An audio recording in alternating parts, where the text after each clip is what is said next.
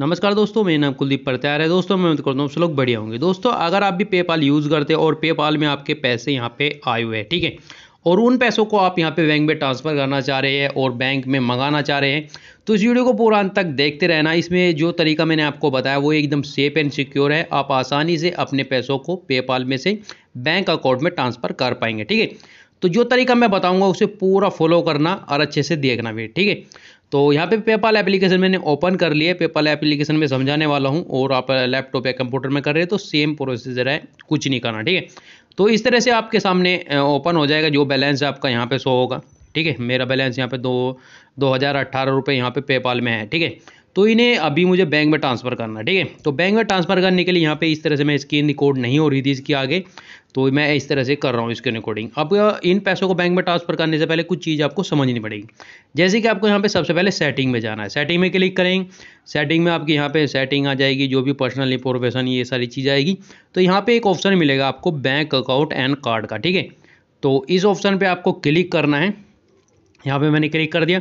यहाँ पे जो भी अपने बैंक अकाउंट लिंक करके रखा है, वो यहाँ पे आ जाएगा। जो कार्ड आपने लिंक करके रखा, वो यहाँ पे आ जाएगा। अगर आप कोई चीज़ अलग से बैंक अकाउंट लिंक करना चाहते हैं तो यहाँ पे प्लस के आइकन पे क्लिक करेंगे और एक और बैंक अकाउंट और ऐड कर सकते हैं, ठीक है? तो अभी इस बैंक अकाउंट पे मैं क्लिक कर देता हूँ। देख सकते हैं, ये पंजाब नेशनल बैंक है, ये मैंने इसमें लिंक करके रखा है, यानी जोड़ के रखा है, और इसका स्टेटस आप देख सकते हैं, यहाँ पे कंफर्म है।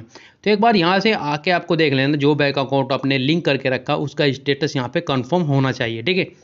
और आपने दो bank account bank account link करके रखे हैं पेपाल में तो जोन से बैंक अकाउंट में पैसा मंगाना चाह रहे हैं, उसे प्राइमरी सेट करें, और स्टेटस उसका वो होना चाहिए कन्फर्म ठीक है?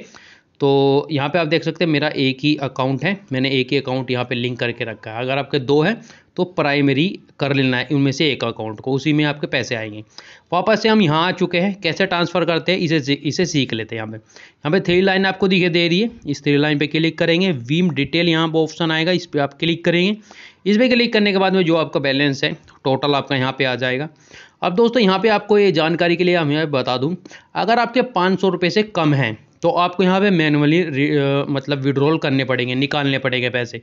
अगर आपके पाँच सौ रुपये से ज़्यादा है तो ऑटोमेटिकली ये विड्रॉल कर देता है। यहाँ पे आप देख सकते हैं। यहाँ पे लिखा है auto withdrawal to your bank account यहाँ पे लिखा हुआ अभी है इन्होंने, ठीक है? तो ये ऑटोमेटिकली अगर पाँच सौ रुपये से ज़्यादा है तो ऑटोमेटिकली विड्रॉल हो जाते हैं। पाँच सौ रुपये से कम है तो यहाँ पे विड्रॉल फंड ऑप्शन नीचे आपको दिया हुआ है। या पाँच सौ के अगर दो हज़ार रुपये मेरे हैं तो मैं यहाँ पे मैनुअली खुद भी रिको मतलब इन्हें मंगा सकता हूँ, ठीक है? तो मैनुअली भी कल मतलब आप इन्हें मंगा सकते हैं, नहीं तो मैं मेरे ऑटोमेटिकली तो आ ही जाएँगे एक दो दिन में, ठीक है?